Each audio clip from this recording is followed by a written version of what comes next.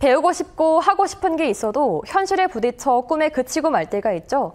세명대의 한 학생위원회가 고등학생의 꿈을 밀어주기 위한 꿈 실현 장학금 활동을 2년째 이어가고 있습니다. 안정원 기자가 보도합니다. 올해 고3인 서혁철 학생은 얼마 전 한 대기업 프로그래밍 공모전 본선에 올랐습니다. 직접 만든 게임을 출시하는 게 목표인데 필요한 장비 구입비가 고민인 예비 게임 개발자입니다. 지금은 프로그래머가 목표지만 꼭 프로그래머로만 저를 한정시키는 게 아니라 이제 궁극적으로 게임 개발자 또는 뭔가 엔터테이너, 엔터테인먼트적으로 뭔가를 만들어서 사람들을 즐겁게 하는 일. K-팝 댄서가 꿈인 타인빈 학생은 전문 강습을 받고 싶어도 학원비 부담에 홀로 연습합니다. 학원이 필요해요. 학원이 선생님 있고 같이 연습해야 돼요. 여기서 주문 잘 할 수 있어요.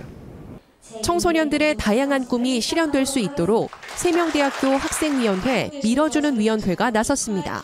밀어주는 위원회는 사회로부터 소외되고 주변에서 많은 지지를 받지 못한 꿈을 꾸고 있는 고등학생들에게 그들의 꿈을 신나게 실현할 수 있도록 기획하고 지원하는 위원회입니다. 올해 전국에서 꿈 실현 장학금을 신청한 고등학생은 347명. 이 중 자신의 꿈에 대한 열정과 구체적인 로드맵을 제시한 19명이 학생위원회를 통해 최종 선발됐습니다. 약 2천만 원의 장학금은 총장이 전액 사비로 지원했습니다. 고등교육기관에 몸담은 교육자로서 그들을 좀 도와주고 support 해주는 게 큰 의미와 보람이라고 생각을 하고 또 사명감이라고 생각을 하기 때문에 장학금에 선정된 학생들은 자신의 꿈을 향해 더 노력하겠다고 다짐해 봅니다.